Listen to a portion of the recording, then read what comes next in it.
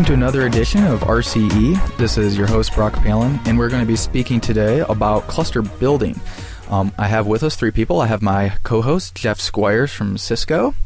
Greetings. This is Jeff Squyres. I, I work on uh, OpenMPI. You can find me on open-mpi.org. Uh, and I have our other two guests. First, we have Jeff Layton from Dell. How you doing, Brock? Uh, yeah, my name is Jeff Layton. I'm what we call the enterprise technologist for HPC at Dell. So, you know, rather than spend an hour explaining what, what an enterprise technologist is, we can just go ahead and move on. That's okay. And then we have Doug Eadline from Cluster Monkey.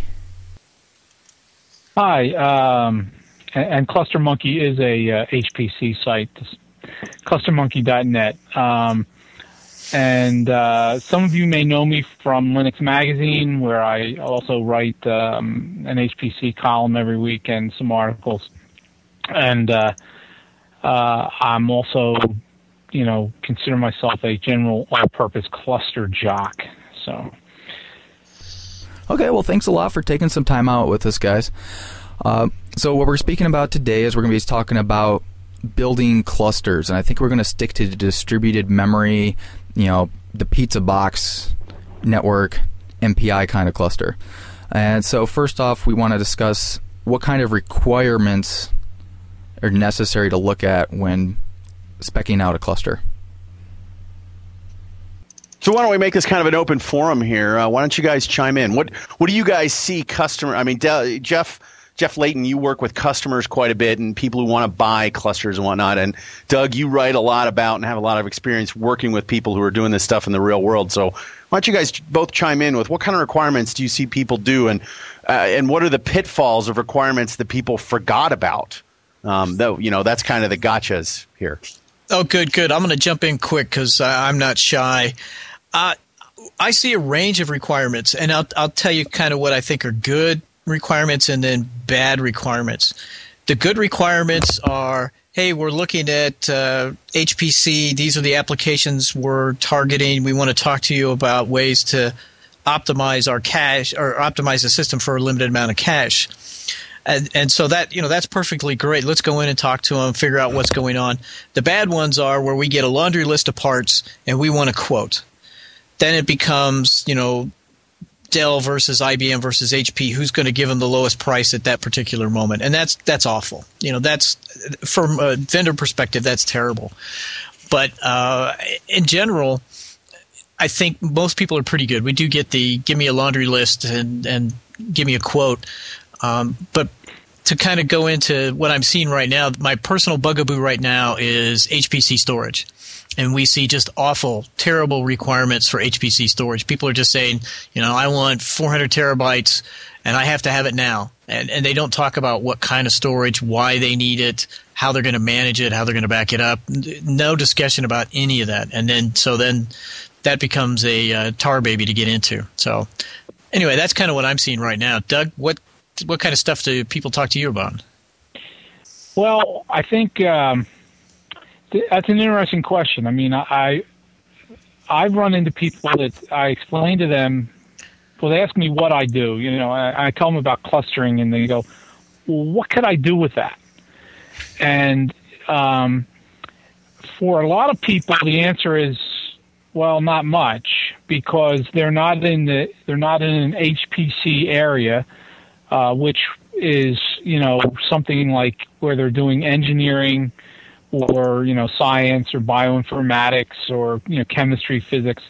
So the the areas where HPC seems to be a win are you know people who need to do uh, solve numeric type problems, um, usually large scale problems, and also non numeric uh, bioinformatics type problems um, where you have things that, that you know the, the, the problem doesn't quite fit on your workstation or whatever, and and uh, you know there's there's things that will supplement your research uh, and so forth.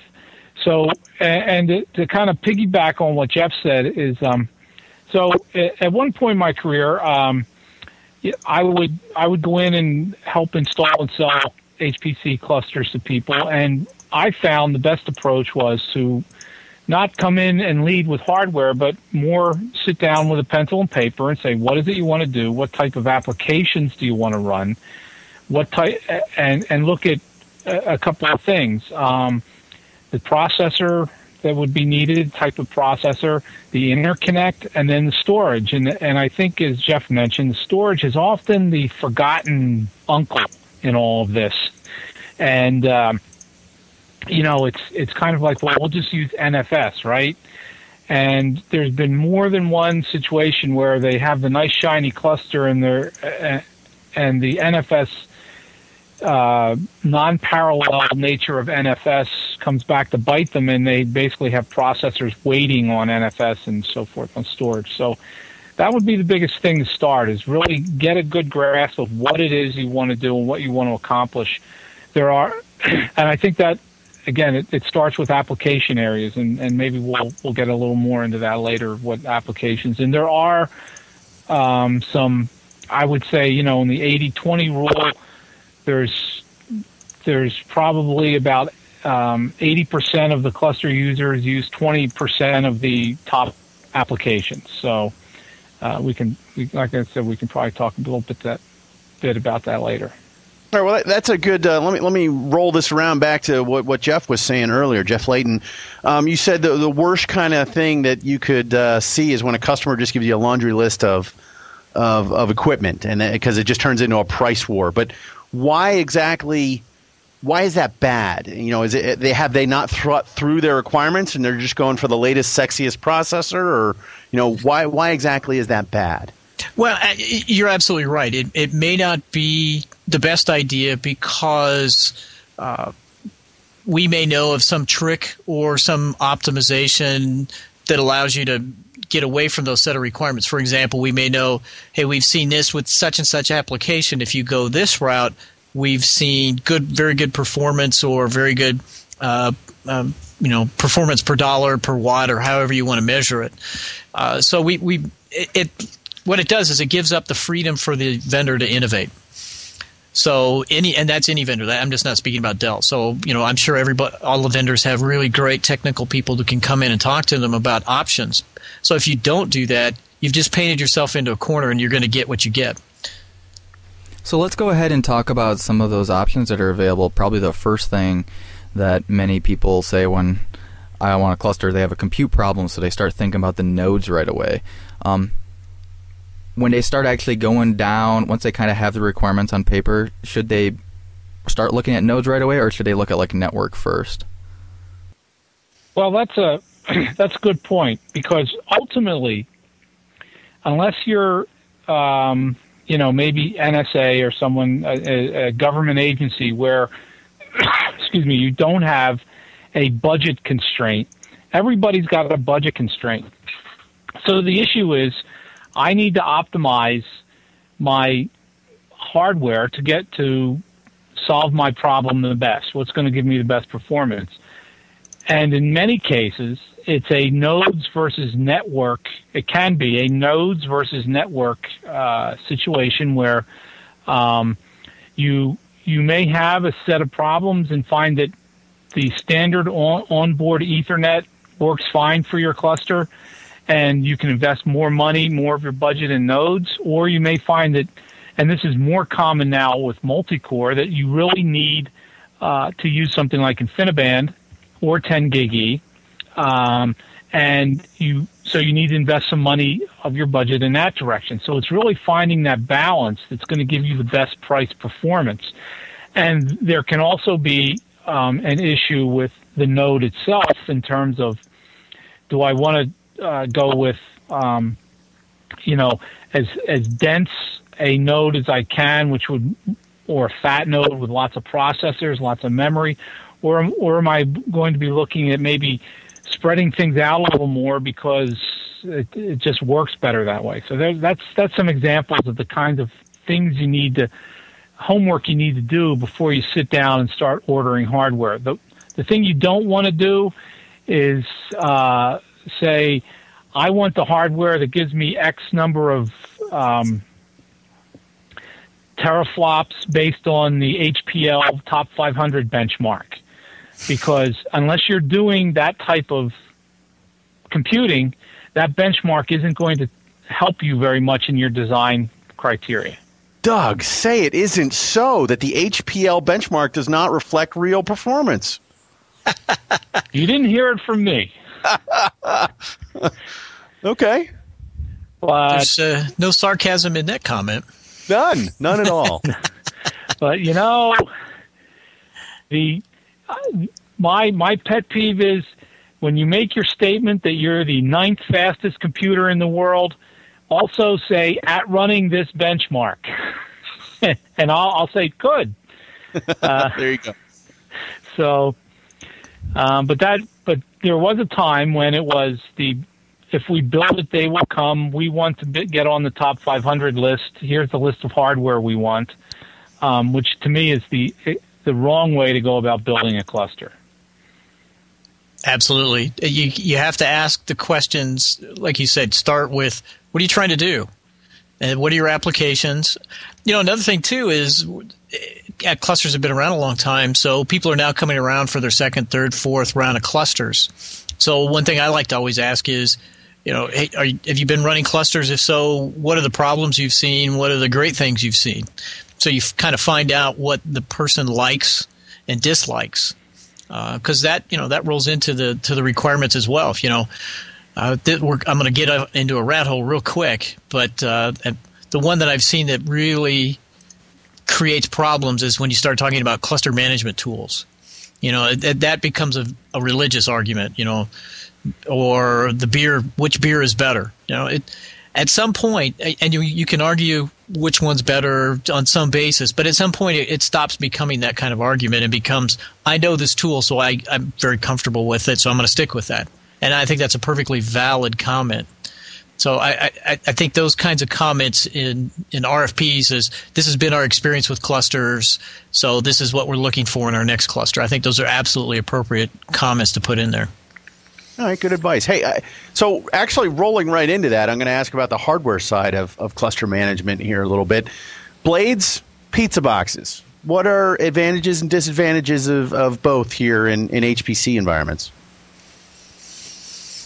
Well, I think my um, what I've been seeing lately is I, I think we're we may be at somewhat of a threshold where the um, price premium that Blades had is getting very close to the cost of the same cost of doing pizza boxes. And um, given the choice between the two, Blades do have an advantage that they normally have shared cooling power, etc., which makes it more more of a green solution. They're usually more efficient on power. The cooling is usually a little more efficient because it doesn't have as many small fans running at very high speeds, and of course, it has the um, usually some built-in management capabilities in the in the blade itself.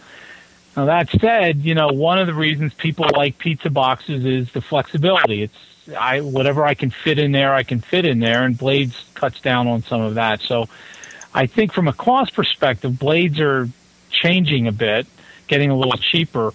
Um, ultimately, and as Jeff Layton alluded to, it's really what works for you. What what kind of uh, situation you need. If you need maximum flexibility, and at some point you're going to want to stick another hard drive in these things, then maybe you better be, you know, go with the pizza box uh, solution. Yep. Now, Jeff, you Jeff Layton probably has some better insight than I do on that.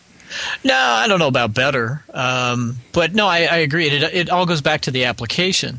Uh, like you said, you know, trying to pop an extra couple of hard drives, blades usually don't have that many slots for hard drives, and there's some applications that need a lot of local I/O, and centralized high-speed I/O doesn't work, so you need a lot of local. So then that your application is going to start to drive you towards one configuration or the other.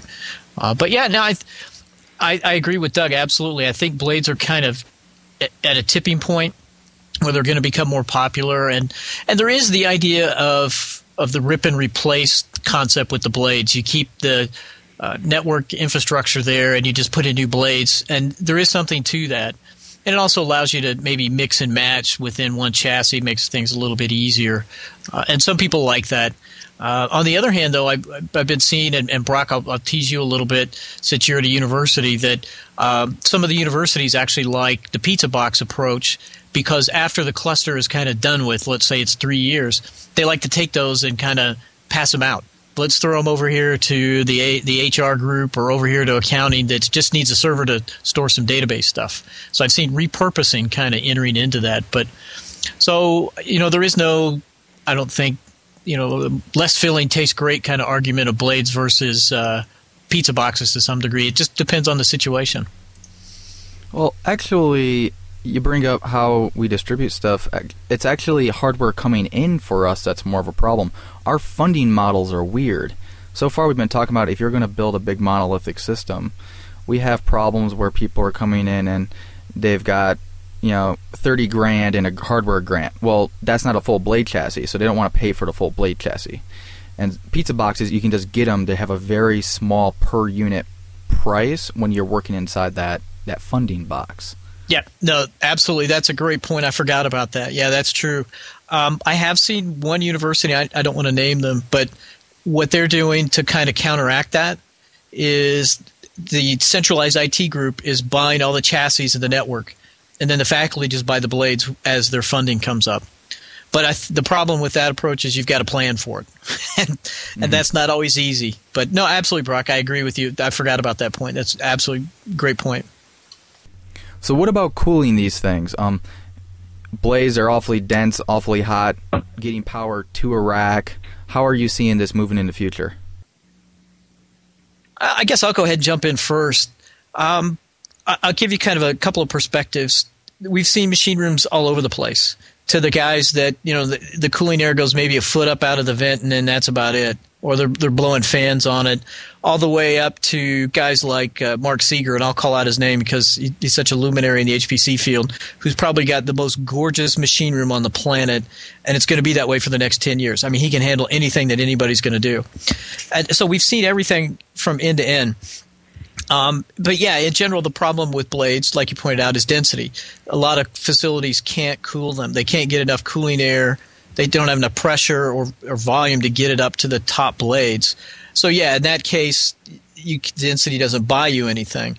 Um, but I will say also at the same time, I've seen a number of machine rooms where they're just screaming for things like cold aisle containment or hot aisle containment where just by enclosing one of the aisle, aisle or the other, they can solve so many of their problems, and it's not that expensive. And so I think there's there's a good way to start, and that's by looking at aisle containment, and then I think we'll take probably the next step in density and go to these massively dense systems, uh, blades, and then we're going to have to probably start talking about water cooling. But uh, companies like APC and Liebert have some nice top of the unit rack, uh, top of the rack units to cool, all self-contained. Same thing with back of the door. APC has some in-row coolers that are pretty nifty. Um, I don't know. I've seen water cooling kind of making a resurgence just because people have it. You know, so they turned it off years ago for the old craze, but it still works. So let's go ahead and take advantage of it. Yeah, I, I, um, two things. I, I think the, um, what they refer to as the rear door heat exchanger type of thing. I, I think that's going to become a um, a nice feature, and uh, and if they have water, um, they actually can use these things to cool other equipment in the uh, in the data center or in the not data center. And where, what I'm talking about is um, many of the data centers and some of the people I've talked to, they, they just don't have the room or power in the data center to put another cluster. And so you may have some guy in a lab that wants to for to do some protein folding may want to put you know 20 nodes in a lab. Well he can't he doesn't have the power and cooling but he definitely can have chilled water and he can get one of these rear door heat exchangers and pop plop the system in his lab and not have to worry about maintaining a um, a server room environment. Now the the um, computer systems people of the organization may not agree with that deployment model. Uh, the salespeople certainly like it, but um, you know that's one of the things I've seen is is uh, you know that there's there's just an issue of getting having space and power for some systems. The other thing that I that I um, actually am very happy about is um, the processor vendors, um, which primarily AMD and Intel, are are taking power seriously now. Not that they didn't before, um, but now it's really become a bullet item in in uh, many of their presentations and and part of a sales pitch. And I'll even mention that the new Nehalem, which just recently came out, has the capability to power down individual cores uh, when not in use, and actually on a system power down. Um, if you're not using a, a host, uh, power down the memory and and um, I/O controllers to, uh, I believe it's somewhere around 10 watts, and in a standby mode, which is to me very important because one of the questions I've asked people is when I see one of these big clusters running, I'll say, well, what's your utilization rate? And they might say, well, about 70%. So I'm saying, so 30% of these, or if you have 100 pizza boxes, 30 of them are sitting there basically doing nothing but, you know, acting like good space heaters. And they're kind of like, well, yeah. And certainly that's a, that's a, some place where we could um, handle the heat better and save money at the same time. All right, so this kind of is, is another good segue into the next layer up, right? So being able to selectively power down that that fits into the broader genre of you know the base provisioning and base cluster management. So you know getting the right operating system load on there and things like that. What do you guys see in this arena? There's a whole pile of tools out there that do these things, and everybody different features for X and features for Y and things like that. There's open source ones, there's commercial ones, and every vendor's got their own favorite tools and things like that. What do you guys see people using, and what do you see as uh, successes and, and failures in this area?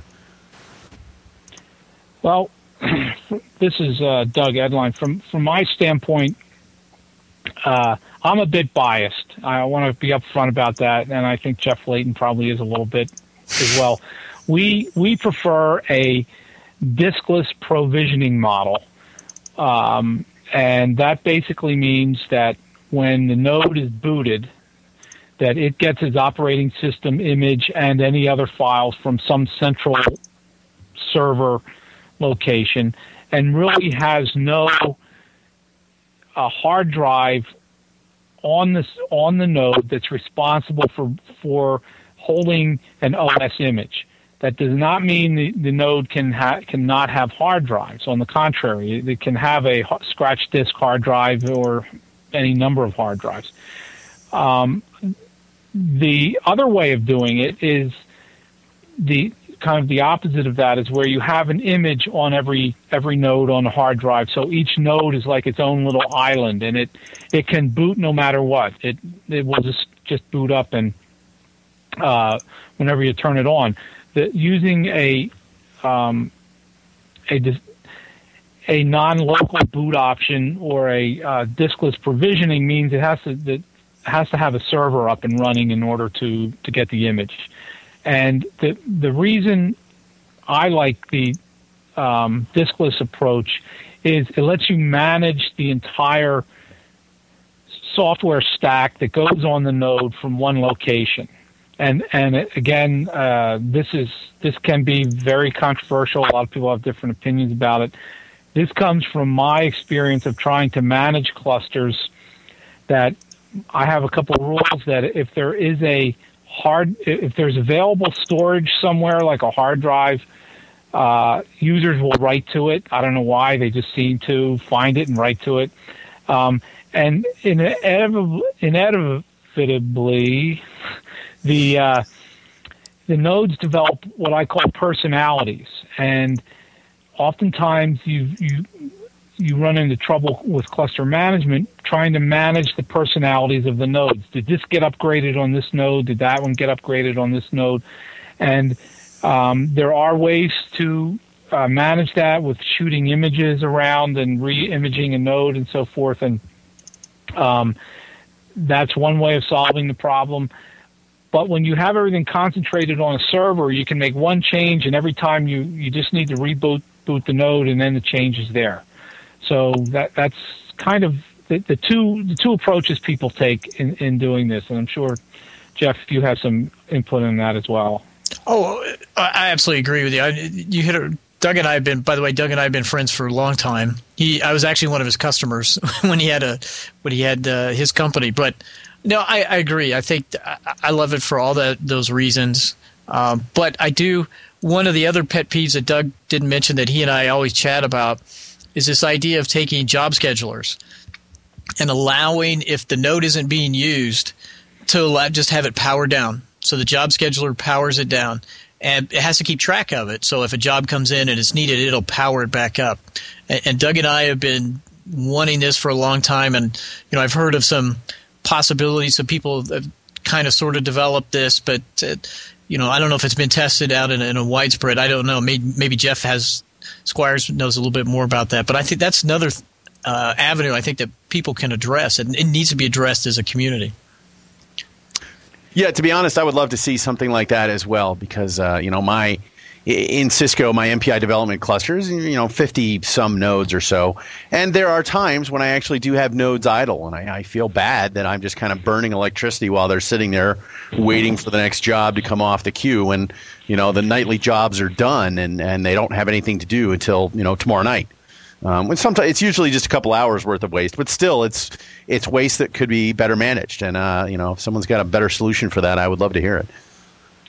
Absolutely. Doug and I have been threatening to do it, and we, we haven't. And but uh, yeah, I'd like to see somebody do it. I, I, on on any basis, commercial and open source. Doug and I, that's another one of our pet peeves is we're kind of open source supporters, but at the same time, we see the need for uh, commercial. But uh, we'd like to see somebody take the bull by the horns and do it.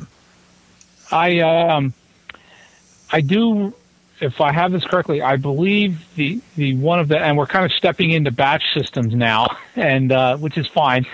One of the the lighter weight batch systems called Slurm. Um, I believe that is part of the next release. It's going to be power system power control. Um, I know there are some people uh, who are trying to work with that with Sun Grid Engine, I, there's actually a I've read some things about it. I don't know if they have anything implemented, and I'm sure the other um, the other scheduler that's popular, open source scheduler, Torque, um, that, that they're looking at that as well. And I am absolutely sure Platform uh, is looking at that as well with their commercial products. So I think it's something everybody's looking at um, I don't think it's it's there just yet, and um, I would love to play with it. It does bring up there. There are some, you know, it's it, it sounds like a simple idea. There are some issues as to, um, you know, how how do you actually implement that? And um, other thing we didn't mention about dynamic um, provisioning or bootless uh, diskless provisioning is that it's quicker than non uh, having a disk on the system. So when you do these dynamic boots, reboots, power downs, it, the system can boot up a lot quicker. And one other advantage we didn't mention about that is it's possible to have this different system images that can boot on the nodes. So, for instance, if you need a certain version kernel package, you can actually customize that for a specific node or group of nodes and and boot those nodes with that image. So you could you could potentially even have a SUSE set of images or a Red Hat set of images, and it gives you a, a bit more flexibility. So I actually, uh, this is a story that I like to hear because um, one of the one of the trends in HPC that I've been hearing recently, and when I say trend, I mean trendy. That people are saying, "Wow, we should use virtualization in HPC so that uh, you know I can have my job have this one gets SUSE and this one gets Red Hat, this one gets Chaos Linux, this one gets Debian, this one gets whatever application load they need, and we can just load whatever virtual machine we like." And I've I've always been kind of dubious of that model for exactly what uh, what you just mentioned there, Doug. That uh, well, you know, just get yourself a good diskless provisioning, and then you don't have all the complexity of virtual machines. You can just pick which image to load rather than trying to virtualize the network and virtualize this and virtualize that. And uh, a lot of these other layers just kind of disappear and you get the same end functionality. Yeah, it, go ahead, Doug. Yeah, the uh, the, the one thing why you mentioned virtualization is, and and um, I, think it's a great idea. I, I I really like the idea, and at the same time, in HPC there are a and Jeff Squyres and Layton, you know this very well. There's a lot of people that spend a lot of time getting software as close to the hardware as possible for the best performance. And, you know, virtualization kind of has uh, uh, the opposite in a, in a way to virtualize hardware. And therein lies the, the rub, I think, with HPC at this point is, um, we want to be as close to the hardware as possible where virtualization wants to move us away a little bit. So that's why I I I think there's going to be some virtualization play in HPC, but I don't I don't see it uh, as most people do.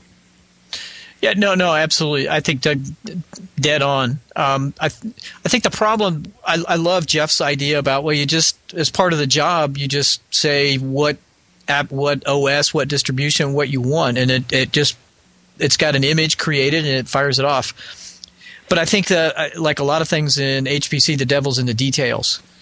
Because now what you're doing basically is re-imaging the nodes. So how does a job scheduler keep track? Because a job scheduler usually puts a daemon on there and they communicate. So you have this kind of problem.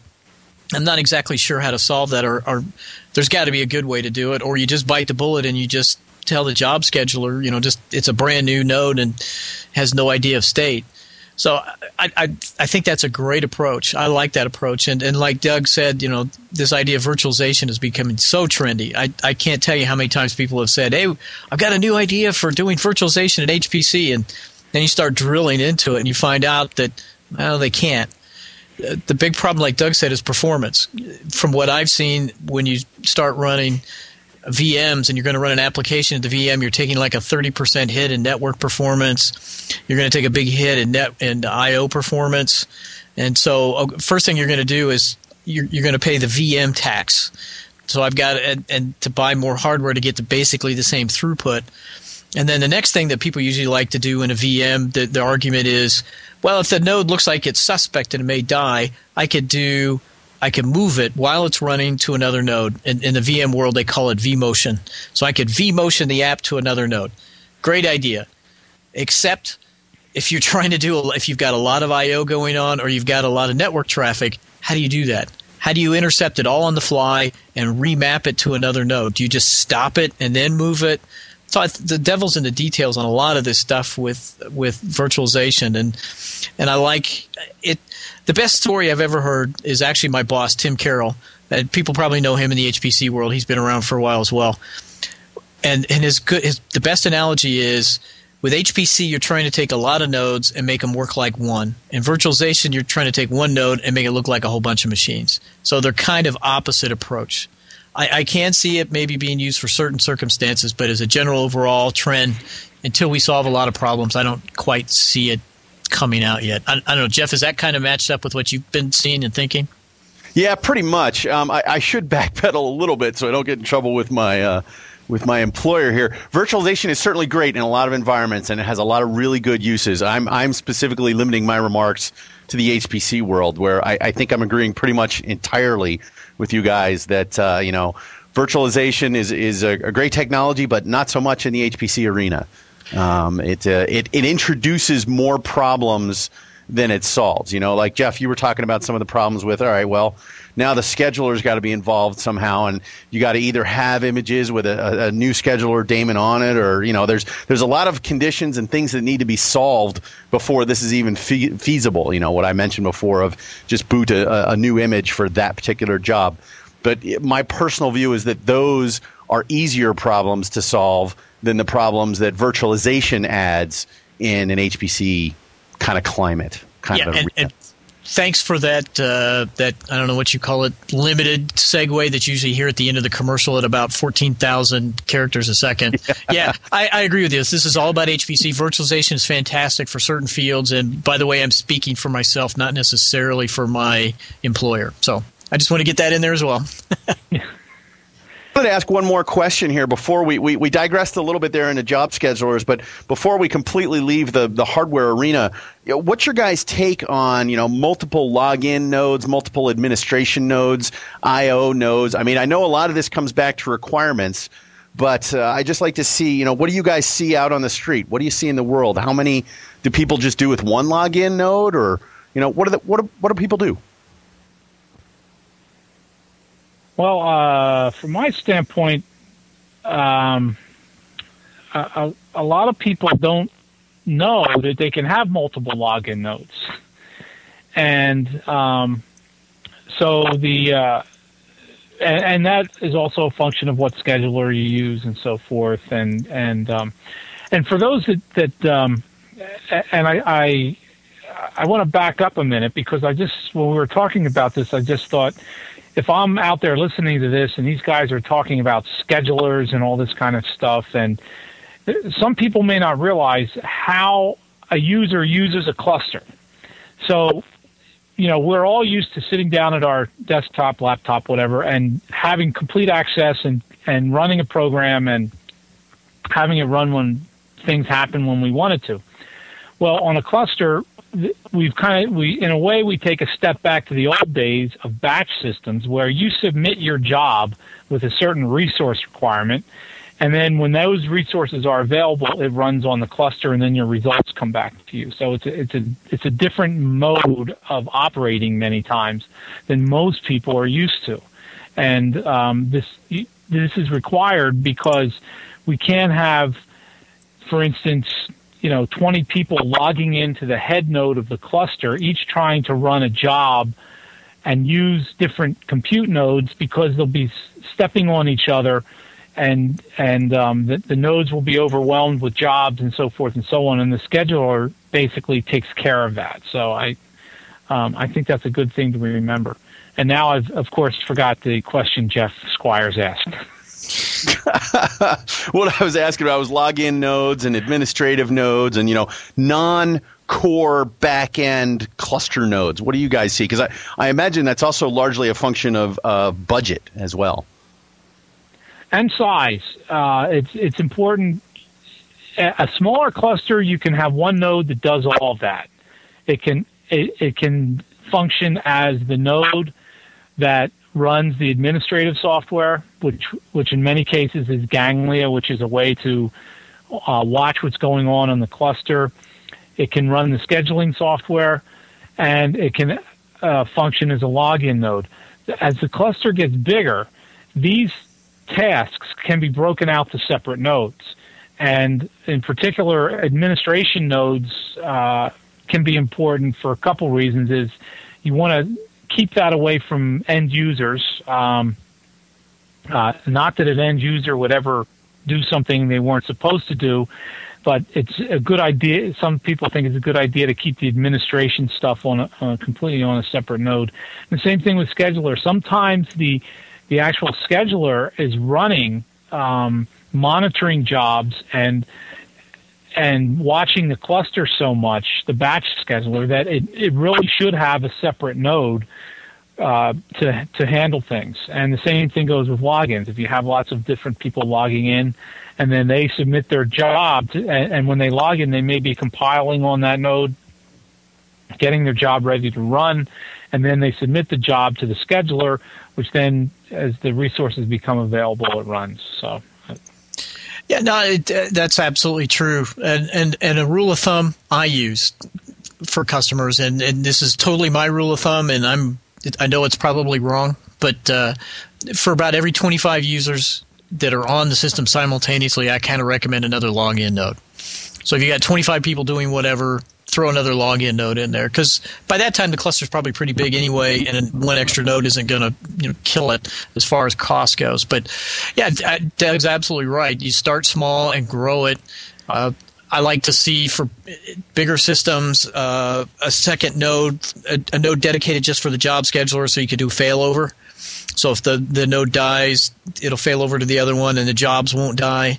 Uh, the separate management node, I like to keep that separate for bigger systems, uh, and then storage as well. I mean, you know, Doug and I have our own secret basement clusters that we've been building for years, and, and we, so we've got a head node that does everything, including act as the storage node or the for NFS. But as as things get bigger, you can't you overwhelm the node, so you got to kind of split that out as well. But at the same time, I think Jeff's probably got that tone in his voice that okay, now I'm making my management problem about a thousand times more difficult, and that's absolutely true. I think there's at some point you're just going to get overwhelmed. But this is my one and only kind of Dell pitch is that Dell and uh, another 11 companies, including Sun and Intel and a few others. Uh, hey, and Cisco too. Cisco, yep. Sorry, I thought it was Cisco. throw it in there. I thought Cisco was there, but I could. To be honest, I can never remember. But uh, the idea is we all put uh, some money and a vested interest in collaborating with uh, Lawrence Livermore to create this system called Hyperion. And what Hyperion is to look at is this, is scaling, to look at scaling of OS, scaling of management, scaling of job scheduler, because we're, we're starting to look at systems with thousands and thousands of nodes. How do you manage that? You know, you don't want 46 login nodes and a whole bunch of different other nodes that you got to run around and manage. So how are we going to tackle that kind of problem? So Mark Seager at, at Lawrence Livermore has kind of led this project, and, and Cisco and Dell and Sun and Intel and a, a number of other companies. And I apologize if I, I miss your company. Um, please let us know which one it is because I, I can never remember. I apologize, but uh, everybody has a vested interest in a Red Hat. I'm sorry, I need to include Red Hat since I'm a, such a Linux fan. All looking at this problem of how do we tackle. I, I call it scaling of the admin. You know, we always laugh that uh, admins don't scale. Uh, we've got to figure out a way to tackle that problem because the systems are just getting too big. Okay, well, moving on. Um, the concept of the scheduler came up quite often, and it really sounds like the, the cluster revolves around a scheduler. Uh, kinds of schedulers you guys see out there? Um, what's some of the more creative uses of a scheduling policy you've seen on a cluster? Well, that's a good question. Um, some of my experience has been that um, users have difficulty with scheduling policies and um, that sounds you, very politically correctly phrased there, Doug. When when you when they complain about how they would like to see the cluster work, and you ask them to come up with a policy of how they want things to work, and then that doesn't seem to happen, then it just kind of runs in the default mode. I guess is the way to say it. Um, and and there are some cases where people take advantage of, of cluster scheduling policies, which can be very, very complicated. And um, Sun Grid Engine, for example, and I'll, I'm mentioning that because I'm most familiar with it, has some fairly sophisticated scheduling methodologies. And um, it's the kind of thing that's very, very uh, organization dependent. And it it gets in the, the trouble I see with it. It gets into organizational politics, and thereby uh, creates some issues. So, and by the way, um, the, the the the three main open source schedulers are Torque slash Maui usually, um, Sun Grid Engine, and the other one's Slurm, and and that's from Lawrence Livermore as well. And Slurm is kind of more targeted towards clusters, where the other the other open source applications are more um, uh, organizational wide in a sense. And uh, the other one, like I mentioned, platform uh, has a scheduling product as well. So uh, that's that's my politically correct answer to that question. So, Doug, let me put you on the spot here a little bit. Here, you you were talking at the fifty thousand foot level, and I, I gotta I gotta take you back to a comment you said earlier for for someone who's listening to this podcast who has no idea about HPC clusters and whatnot, that might be a little too high. I wonder if you could ground this in a in a couple of uh, real world examples you've seen, or maybe even some hypothetical examples. But you know, give us give us a little more detail on what you were talking about in terms of why policies are difficult and how things can get complicated, and you know what works best from what you've seen. Well, I'll give you. Here's an example. Um, uh, uh, some clusters I'm involved in come from uh, various funding sources. So there'll be a certain number of nodes that are owned by a certain group that um, have exclusive use of those nodes, and then there are there are other nodes who uh, and the exclusive use is dictated by the grant. They're they're they are not allowed to share the hardware, and then in other situations they will bring some nodes to the table in exchange for using other nodes in the cluster when their nodes aren't available.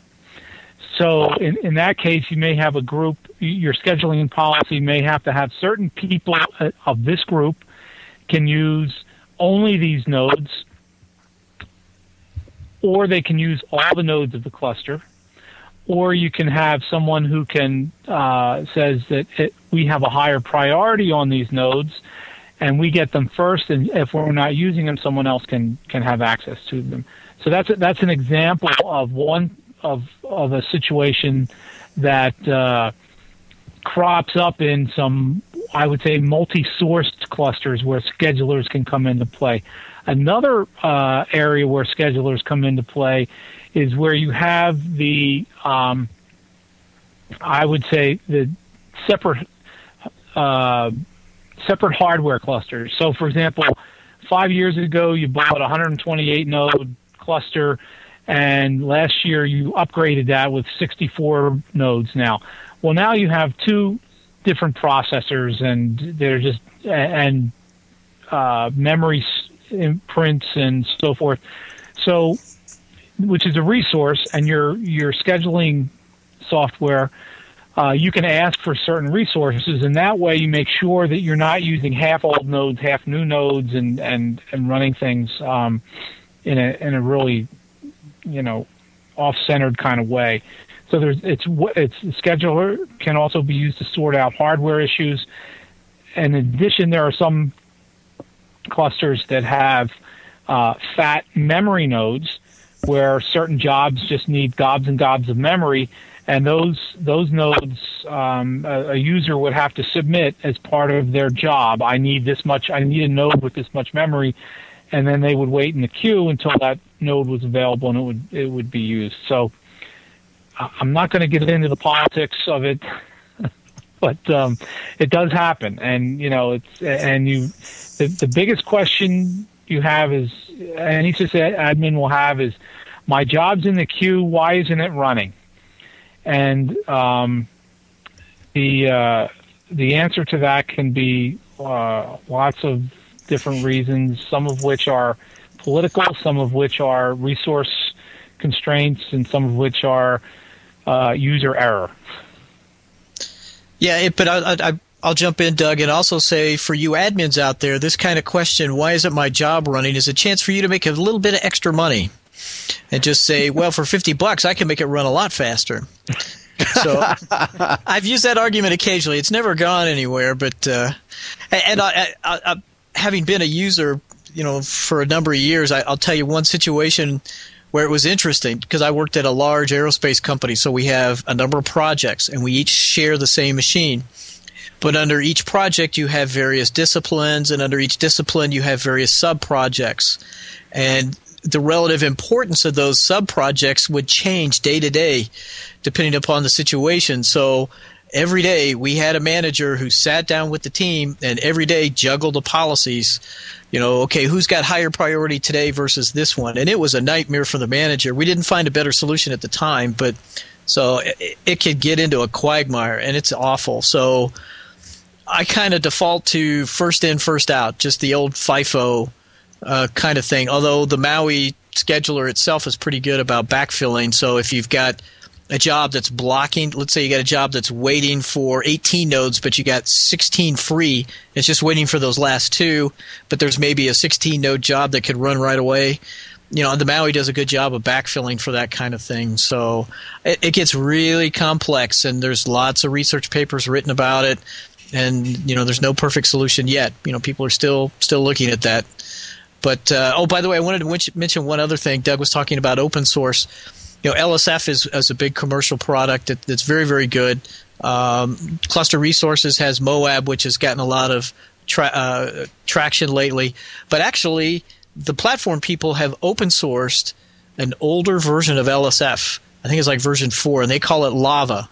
Uh, so if you look at some of the platform's open cluster stack, their OCS products, you'll find Lava in there, and it's total open source. So I mean, if you like LSF uh, and you're comfortable with LSF4 and you can build it, it, it's totally out there for you. So it's another option people could consider.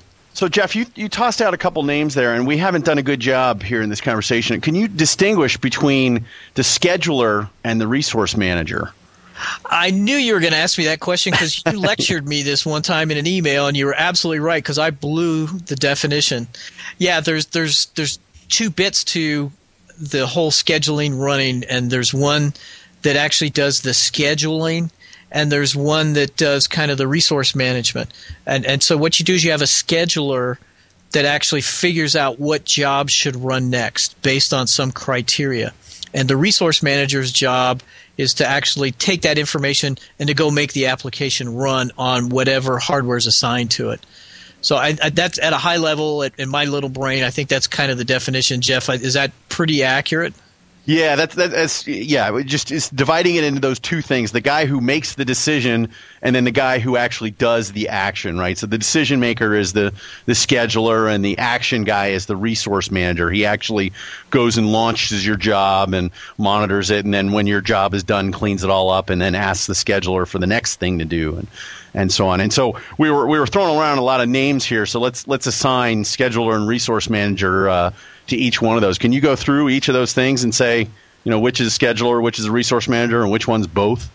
Oh boy, that's I'll do my best and then correct me. Let's put it that way. Uh, so this is this is Jeff's final exam for for me. Um, yeah, don't get it wrong.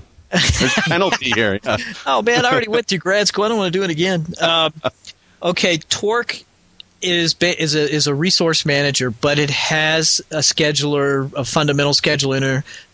It's called FIFO, first in, first out, and so it's just the first person to get in the queue gets to run first, and so on. Uh, you can you can tweak it and do some programming of your your own if you want to do the write a scheduler. Uh, Maui is a scheduler that plugs into it.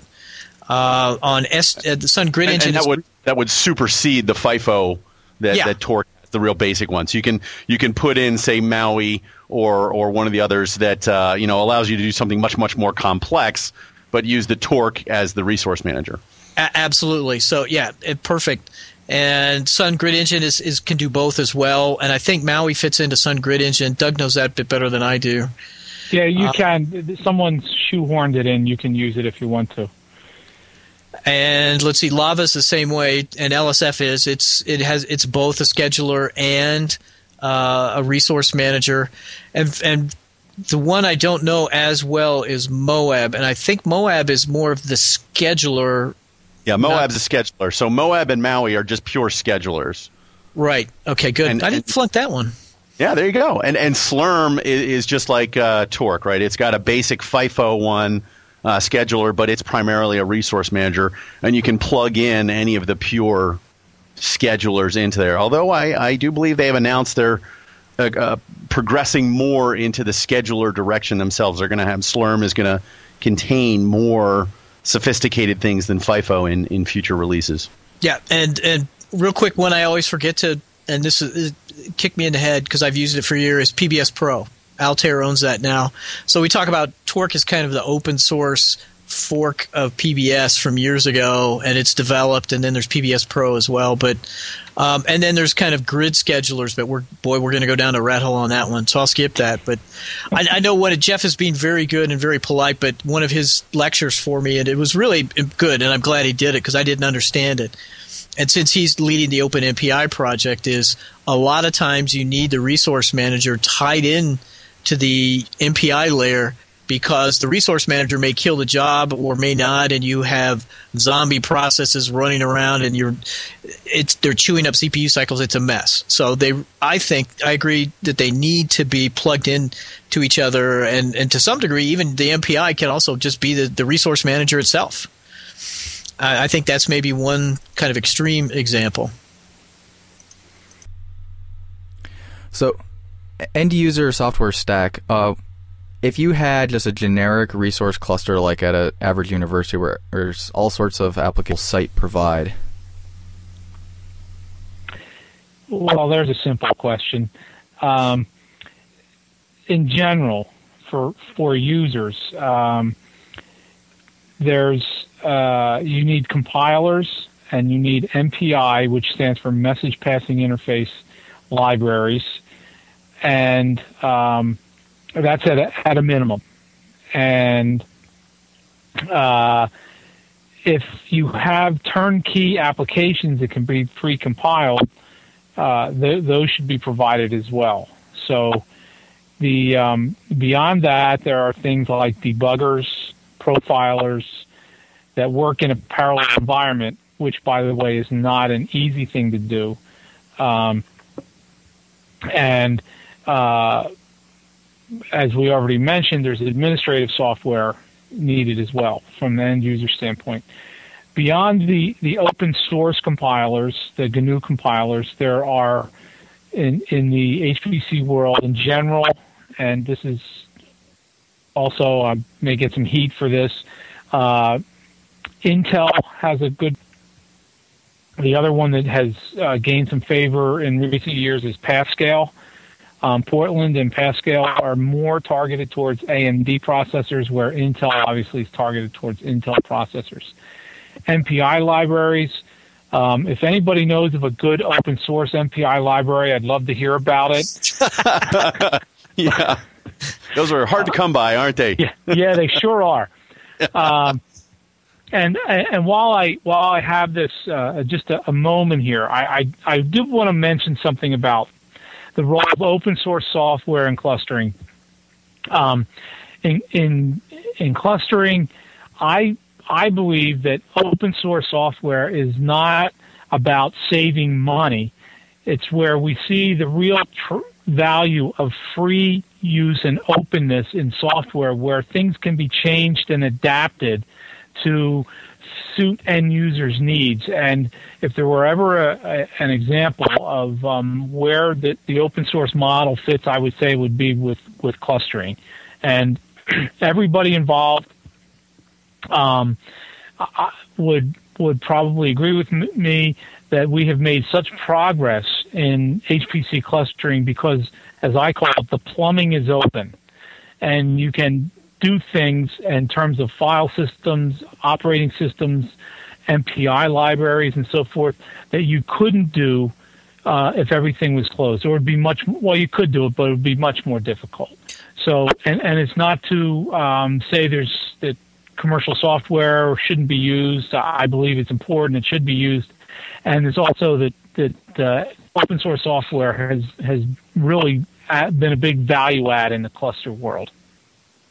Yeah, amen, Reverend Eadline. It, absolutely, and it's it is not a matter of cost, and I think pretty much everybody in the open source world understand should understand that it's not a matter of cost. It's it's a matter of being open. And you know, there's a quick historical note. One of the early cluster guys at uh, and Doug, I can't remember his name at NASA, actually found a bug in the TCP stack and by changing a few things, managed to improve the TCP performance hugely. And his patch would run for years.